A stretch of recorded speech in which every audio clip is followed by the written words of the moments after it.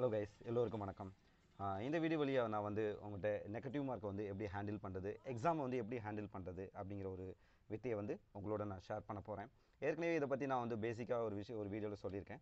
இந்த வீடியோலையும் வந்து அதோட எக்ஸ்டெண்ட் பண்ணி உங்களோட ஷேர் பண்ண போகிறேன் அதுக்கு முன்னாடி வந்து உங்களில் இன்றைக்கி மட்டும் இந்த வீடியோஸ் வந்து யாரெல்லாம் பார்க்குறீங்களோ நீங்கள் வந்து என்னுடைய வாட்ஸ்அப் குரூப் இந்த எஸ்எஸ்சி கான்ஸ்டபிள் ஜிடிகே அப்படின்னு சொல்லி ஒரு வாட்ஸ்அப் குரூப் ஒன்று வச்சுருக்கேன்.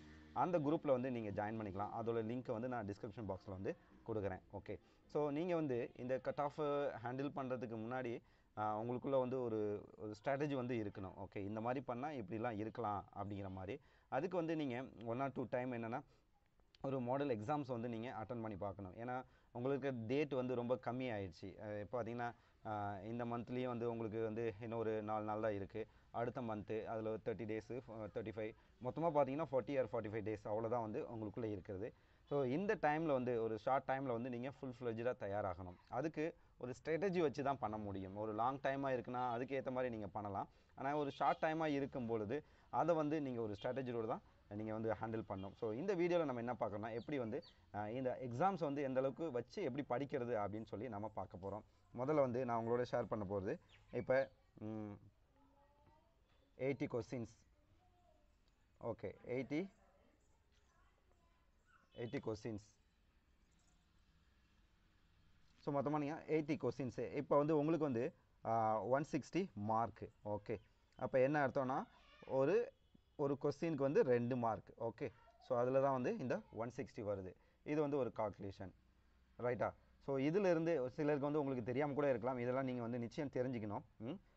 இப்போ நான் வந்து பொதுவாக என்ன சொல்லுவோம் அப்படின்னா இந்த எயிட்டி கொஸ்டின்ஸ் வந்து நீங்கள் நாலு பார்ட்டாக வந்து அவங்களுக்கு வந்து பிரிப்பாங்க. ஒன்று வந்து ஜிகே ஜிகேல பார்த்தீங்க அப்படின்னா அதுக்கு டுவெண்ட்டி கொஸ்டின் அதுக்கப்புறம் பார்த்தோம் அப்படின்னா உங்களுக்கு வந்து இங்கிலீஷு இங்கிலீஷில் வந்து டுவெண்ட்டி கொஸ்டின் அதுக்கப்புறம் பார்த்தீங்கன்னா உங்களுக்கு வந்து மேக்ஸு அதில் வந்து டுவெண்ட்டி கொஸ்டின் அதுக்கப்புறம் வந்து ரீசனிங் ரீசனிங் இதில் வந்து டுவெண்ட்டி கொஸ்டின் ஓவரால் பார்க்கும்பொழுது உங்களுக்கு என்ன ஆயிரும் அப்படின்னா டுவெ eighty question into two mark உங்களுக்கு ஒன் சிக்ஸ்டி மார்க் ஆயிரும். ஓகே நான் இங்கே ஹேண்டில் பண்ணுறது எல்லாமே அப்படின்னா கொஸ்டின்ஸாக வச்சு தான் நான் உங்களே ஹேண்டில் பண்ண போகிறேன் ஸோ நீங்கள் வந்து மாடல் எக்ஸாம் எழுதும்போது மேக்ஸிமம் என்ன டார்கெட் வச்சு எழுதணும் அப்படின்னு பார்த்தீங்க அப்படின்னா இந்த எயிட்டி கொஸ்டின்ஸில் வந்து நீங்கள் ஃபிஃப்டி கொஸ்டின்ஸ் வந்து அட்டன் பண்ணுற அளவுக்கு நீங்கள் வந்து படிக்கணும். ஓகே ஸோ அது ரொம்ப இம்பார்ட்டன்ட் நீங்கள் ஃபிஃப்டி கொஸ்டின் வந்து நல்லபடியாக அட்டன் பண்ணணும். அந்த அளவுக்கு நீங்கள் வந்து தேர்ட்டி கொஸ்டின்ஸ் போயிட்டால் பரவாயில்ல.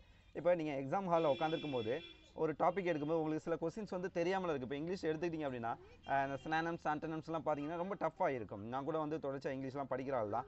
ஸோ எனக்கு வந்து பார்த்தீங்கன்னா அந்த இந்த ஸ்னானம்ஸ் ஆண்டனம்ஸ் வார்த்தை வந்து அதுக்கு முன்னாடி பா பார்க்காத வார்த்தையாக தான் இருக்கும். இருந்தாலும் சரி அதுக்கு நான் அந்த நீங்கள் வீடியோஸ்லாம் பார்த்தீங்கன்னா அந்த ட்ரிக்ஸ்லாம் கொஞ்சம் நான் யூஸ் பண்ணுறதை உங்களோடையும் நான் ஷேர் பண்ணிக்கிட்டே இருக்கேன். ஸோ இருந்தாலும் சரி அதில் இப்போ பார்த்தீங்கன்னா உங்களுக்கு வந்து மூணு கொஸ்டின்ஸ் இருக்குது அப்படின்னா ரெண்டு கொஸ்டின் போயிட்டால் கூட ஒரு கொஸ்டின்ஸ் அப்படி நீங்கள் அட்டன் பண்ணிங்கன்னா எட்டு டாபிக் இங்கிலீஷ்லலாம். ஸோ அதில் வந்து பதினாறு பதினாறு வந்து ஈஸியான கொஸ்டின்ஸ் வந்து இருக்கும்.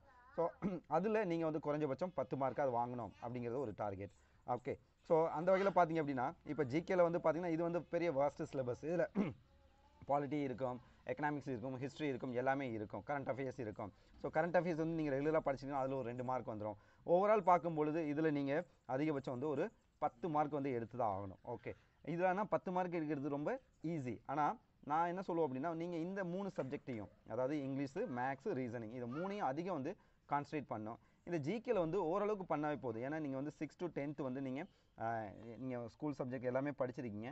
ஒன்றுமே தெரியல அப்படின்னாலும் சரி எதார்த்தமாக நீங்கள் பண்ணும்பொழுது கூட இந்த பத்து கொஸ்டின்ஸ் பண்ணுறதுக்கு வந்து அதிக வாய்ப்பு இருக்குது ஸோ இதில் வந்து பத்து கொஸ்டின்ஸ் வந்து நீங்கள் சரி பண்ண முயற்சி பண்ணணும். அதே போல் வந்து இங்கிலீஷில் பார்த்தீங்க அப்படின்னா நான் ஏற்கனவே சொன்னேன் எட்டு டாப்பிக்கு எட்டில் வந்து மீடியமான ஒன்று ஈஸியான ஒன்று ரெண்டு இருக்கும். அதில் பார்த்தீங்கன்னா மொத்தமாக வந்து பதினாறு கொஸ்டின்ஸ் இருக்கும். இந்த பதினாறு கொஸ்டின்ஸில் வந்து பத்து கொஸ்டின்ஸ் ரைட் பண்ணுற மாதிரி இருக்கும். ஸோ இதில் என்னென்னா ஒரு மேக்ஸில் இருக்க ஒரு ஃபார்முலா மாதிரி தான் வந்து இங்கிலீஷ்லேயும். இங்கிலீஷில் வந்து நாம் இனிமேல் நீங்கள் வந்து படித்து ஒரு ஆக்ஸ்போர்ட் டிக்ஷனரி எடுத்து மீனிங் பிடிச்சி பேசி பழகி அதெல்லாம் இல்லை. ஓகே இந்த எக்ஸாமுக்கு என்ன தேவை? இப்போ இருபது கொஸ்டின்ஸ் இருக்குது அந்த இருபது கொஸ்டின்ஸ் வந்து எப்படிலாம் ஹேண்டில் பண்ணுறது அப்போ எப்படி ஹேண்டில் பண்ணுறது அப்போ இருபது கொஸ்டின்ஸ் வந்து என்னென்ன டாப்பிக்கில் கேட்குறாங்க எந்த மாதிரி கே கேட்குறாங்க அப்படின்னு உங்களுக்கு தெரிஞ்சிருக்கணும். ஸோ அதுக்கு தான் வந்து நான் என்ன பண்ணியிருக்கேன் அப்படின்னா ப்ராக்டிஸ் செட் வந்து இது உள்ள அஞ்சு செட்டு போட்டிருக்கேன். அது இல்லாமல் நான் தொடர்ச்சியாக போட்டுக்கிட்டே இருக்க போகிறேன் ஸோ அதெல்லாம் நீங்கள் ப்ராக்டிஸ் பண்ணும்பொழுது அதை பார்க்கும்பொழுது ஒர்க் அவுட் பண்ணும்போது மேபி அதுலேருந்தே கொஸ்டின்ஸ் வரதுக்கான வாய்ப்புகளும் இருக்குது ஓகே ஸோ இந்த ஆங்கிளில் நீங்கள் வந்து இதுக்கு தயாரானீங்க அப்படின்னா உங்களுக்குள்ள ஒரு பயம் இருக்காது ஒரு சலிப்பு இருக்காது. ஓகே நம்மளால் பண்ண முடியும். இருபது கொஸ்டின் இருக்குது இருபது கொஸ்டின் நம்ம டார்கெட் கிடையாது. பத்து கொஸ்டின் தான் நமக்கு வந்து டார்கெட் அப்போ பொதுவாக பார்த்தீங்கன்னா ஒரு எட்டு டாபிக் இருக்குது எட்டு டாப்பிக்கில் வந்து ரெண்டு கொஸ்டின்ஸ் ரெண்டு கொஸ்டினில் பார்த்தீங்கன்னா பதினாறு. ஓகே ஒன்று மீடியம் ஒன்று ஹார்டு இந்த மாதிரி நம்ம வச்சுட்டோம். ஈஸி கொஸ்டினில் வச்சுட்டோம்னா கூட மொத்தமாக ஆறு கொஸ்டின் போயிடுச்சுன்னா கூட பத்து கொஸ்டின் வந்து நிச்சயம் நிற்கும் அப்படிங்கிற மாதிரி. ஸோ இதில் பார்த்தீங்க அப்படின்னா இதில் பத்து மார்க்கு இதில் பத்து மார்க்கு அடுத்தது பார்த்தீங்கன்னா இது ரெண்டும் ரொம்ப இம்பார்ட்டன்ட் இதில் என்ன அப்படின்னா உங்களுக்கு வந்து உங்களுக்கு சிலருக்குலாம் தோணும் ஐயோ எனக்கு இங்கிலீஷ் நாலேஜ் இல்லை அந்த நாலேஜ் இல்லை இந்த நாலேஜ் இல்லை அப்படிங்கிற மாதிரி. ஓகே ஸோ அவங்களாம் வந்து அதிகமாக கான்சன்ட்ரேட் பண்ண வேண்டிய ஏரியா என்னன்னு பார்த்தீங்க அப்படின்னா இந்த மேக்ஸும் ரீசனிங் தான். இந்த ஏரியா வந்து ரொம்ப இம்பார்ட்டன்ட் இந்த ஏரியாவில் அதிகமாக நீங்கள் வந்து கான்சன்ட்ரேட் பண்ணும் அப்போ இதில் நான் என்ன சொல்லுவேன் அப்படின்னா பதினஞ்சு பதினஞ்சு முப்பது கொஸ்டின்ஸ் வந்து இதில் நீங்கள் என்ன பண்ணணும் முப்பது கொஸ்டின்ஸ் வந்து நீங்கள் ரைட் பண்ணுறதுக்கு பண்ணணும். இதுக்கு தான் நான் வந்து என்னுடைய ஒய்ஃப் கூட வந்து நிறைய வீடியோஸ் போடுறாங்க. இது இல்லாமல் நீங்கள் ப்ராக்டிஸ் செட் இருந்தீங்கனாலும் ப்ராக்டிஸ் பண்ணிகிட்டே இருங்க.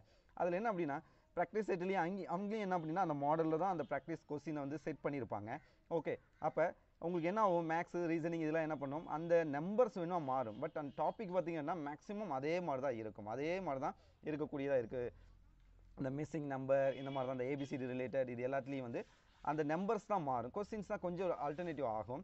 பட் அந்த பேட்டர்ன் வந்து அதே தான் இருக்கும் அப்போ இந்த ரெண்டுலேயும் வந்து நீங்கள் பதினஞ்சு பதினஞ்சு முப்பது மார்க் எடுத்து தான் ஆகணும். ஸோ ஓவரால் பார்க்கும்பொழுது நான் இப்போ சொன்னது டார்கெட் என்ன பார்த்தீங்கன்னா இங்கே முப்பது. ஓகே இதில் ஜிகேயில் பத்து இங்கிலீஷில் பத்து இது ரெண்டுலேயும் வந்து முப்பது. மொத்தமாக வந்து ஐம்பது கொஸ்டின் வந்து நீங்கள் கிளியராக சாலிடாக அட்டன் பண்ணுற மாதிரி வச்சுக்கணும். ஓகே ஸோ எக்ஸாமில் நான் என்ன பண்ணுங்க என்ன பண்ண சொல்கிறேன்னா நீங்கள் வந்து மாடல் எக்ஸாம் எழுதும் பொழுது இது வந்து பொதுவாக இந்த ஐம்பதை டார்கெட்டாக வச்சு நீங்கள் நல்லபடியாக படிக்கணும்.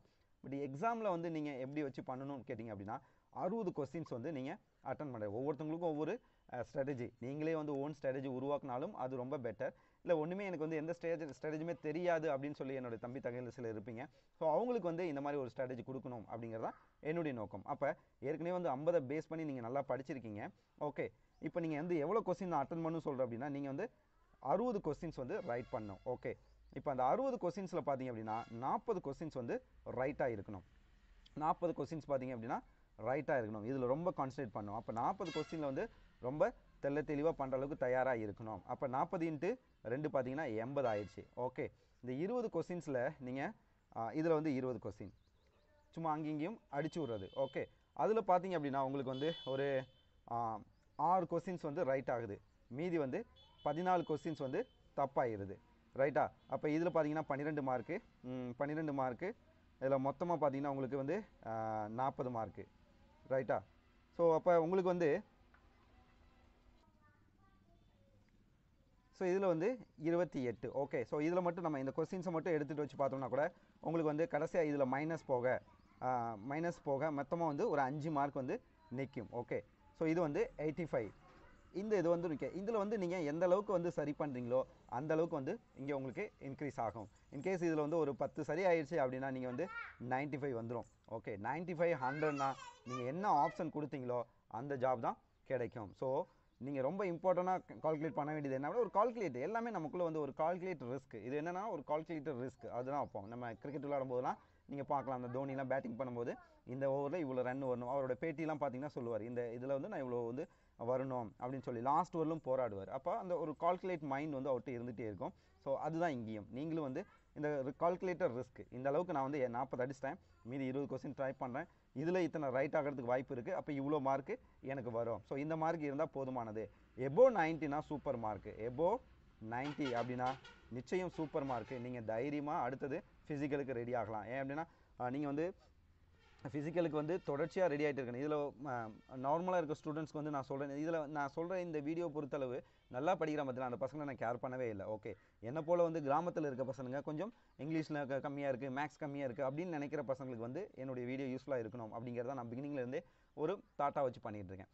ஓகே ஸோ நீங்கள் பண்ண வேண்டியதும் இதில் என்ன அப்படின்னா கண்டினியூவாக வந்து ஃபீல்டில் இருந்துகிட்டே இருக்கணும். கடைசி வரலும் இப்போ நீங்கள் ஸ்டார்ட் பண்ணுறீங்க படிக்க ஸ்டார்ட் பண்ணியதில்ல இதில் இருந்து மெடிக்கல் முடிகிற வரலும் நீங்கள் அதில் இருந்துகிட்டே இருக்கணும். ஏன் அப்படின்னா நான் ஏற்கனவே நிறைய வீடியோ சொல்லியிருக்கேன்.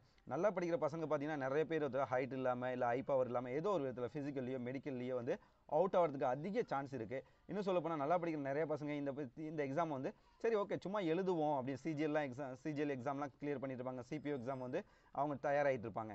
ஸோ அதுக்கு வந்து இப்போ இடையில வந்த இந்த எக்ஸாம்ஸையும் வந்து நம்ம பண்ணலாம் அப்படிங்கிறதுக்காக இவங்க வந்து இந்த எக்ஸாம்லாம் அட்டன் பண்ணுவாங்க. ஸோ அதில் நிறைய பேர் வந்து இந்த எக்ஸாம்ஸ் வந்து மறுபடியும் வந்து கண்டினியூ பண்ணாமலே விட்டுருவாங்க.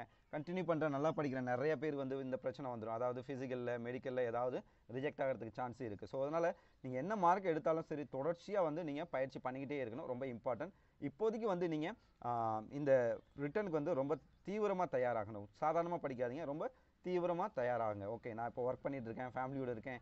இருந்தாலும் சரி உங்களை பற்றி வந்து ஒரு நாளைக்கு ரெண்டு மூணு மணி நேரம் வந்து நான் யோசிப்பேன். ஒரு வீடியோ போடணும் அது சம்மந்தமாக படிக்கணும் ஏதாவது கொஞ்சம் யோசித்து சரியாக சொல்லணும் அப்படிங்கிற மாதிரிலாம் நம்ம பிளான் பண்ணிகிட்டே இருப்பேன். ஸோ என்னால் இவ்வளோ ஒரு ரெண்டு மணி நேரம் மூணு மணி நேரம் கொடுக்க முடியுதுன்னா உங்களாலேயும் வந்து அஞ்சு மணி நேரம் ஆறு மணி நேரம் எட்டு மணி நேரம் கொடுக்கறது வந்து நிச்சயம் சாத்தியமானது. ஸோ இந்த மாதிரி நீங்கள் டைம் எவ்வளோக்கு எவ்வளோ இப்போ ஸ்பெண்ட் பண்ணுறீங்களோ அந்தளவுக்கு வந்து வெற்றி உங்கள் கிட்டத்தில் வரும். நீங்கள் வந்து இப்போ நான் சம்பாதிக்க போகிறேன் அப்படி போகிறேன் இப்படி போகிறேன்னு சொல்லி மிஸ் பண்ணிட்டீங்க அப்படின்னா அந்த டைமில் நீங்கள் ஃபெயிலாக போகிறது பார்த்தீங்கன்னா நான் சாப இல்லை பட் சொல்கிறேன் உண்மையை. ஃபெயிலாக போகிறது பார்த்தீங்கன்னா zero point five zero point seven five இப்படிங்கிற மார்க்கில் தான் வந்து ஃபெயிலாக போங்க ஏன்னா கால் மார்க்கில் போயிடுச்சு அரை மார்க்கில் போயிடுச்சு ஒரு மார்க்கில் போயிடுச்சுன்னு அப்போ வருத்தப்படல எந்த பிரயோஜனமும் கிடையாது. ஸோ அதுக்கு பதிலாக இப்போலேருந்தே நீங்கள் முழு ரீதியாக தயாரானீங்க அப்படின்னா இந்த எக்ஸாம் வந்து சூப்பராக நீங்கள் அட்டன் பண்ணிடலாம். ஸோ ஃபுல் ஃப்ளெஜ்டாக நீங்கள் தயாராகுங்க. வேலைக்கு போகிறவங்க கூட கொஞ்சம் ஸ்டாப் பண்ணி முழு ரீதியாக தயாராகுங்க. இந்த எக்ஸாம் வந்து ரொம்ப ரொம்ப இம்பார்ட்டண்டான எக்ஸாம் இதில் வந்து ஜாயின் பண்ணி ஒரு ஃபைவ் இயர்ஸ் ஒர்க் பண்ணீங்க அப்படின்னா அதில் நிறைய ஸ்பெஷல் ஃபோர்ஸ்லாம் இருக்குது நீங்கள் அப்ளை பண்ணும்போதெல்லாம் பார்த்துருவீங்க. இப்போ ஜாயினிங் லெட்டர் கூட பார்த்துருப்பீங்க. அதாவது எஸ்பிஜி என்எஸ்ஜி கோப்ரா கமாண்டோ இந்த மாதிரிலாம் நிறைய இருக்குது அதிலலாம் போனீங்கன்னா ஒரு பேங்க் மேனேஜர் என்ன சேலரி வாங்குவாரோ அவங்க என்னென்ன எக்ஸாம்ஸ் வந்து கிளியர் பண்ணிட்டு போவாங்க ஐபிபிஎஸ் கிளியர் பண்ணுவாங்க அதுக்கு எவ்வளோ தீவிரமாக படிச்சிருப்பாங்க. ஸோ அந்த அந்த அவங்க வாங்குற சேலரிக்கு ஈக்குவலாக நீங்கள் வந்து இதில் வாங்குற ஸ்பெஷல் அலவன்ஸ் இதெல்லாம் சேர்க்கும் பொழுது அந்த அளவுக்கு உங்களுக்கு அலவன்ஸ் வந்துடும் ஸோ இதில் நீங்கள் என்ன பண்ணணும் அப்படின்னா கொஞ்சம் கான்சன்ட்ரேட் பண்ணி படிக்கணும். முழு முயற்சியோடு இறங்கி தீவிரமாக செயல்படணும். நிச்சயம் உங்களால் முடியும்.